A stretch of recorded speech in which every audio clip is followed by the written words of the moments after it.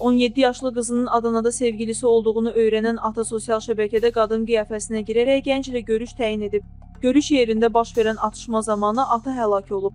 Hadisə mayın 19-da saat 23.30 radələrində Seyhan rayonunun Onur məhəlləsində baş verib.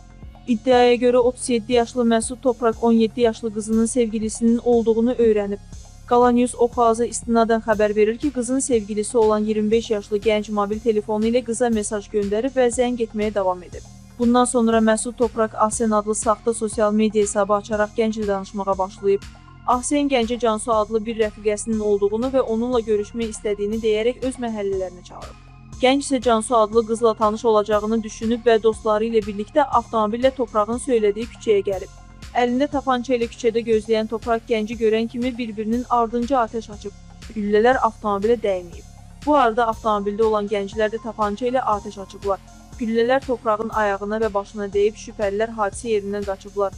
Silah səslərini eşidən məhəllə sakinlərinin çağırdığı təcili tibbi yardım heyəti Toprağın öldüyünü təsbit edib. Toprağa atəş açan şübhəlilər müəyyən edilərək saxlanılıblar.